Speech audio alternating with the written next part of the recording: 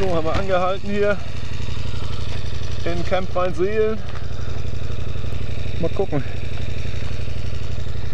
Ich wollte eigentlich ein paar Bilder im Schnee machen. Aber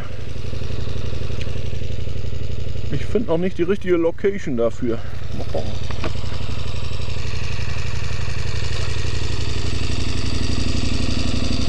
Alles verpacken hier.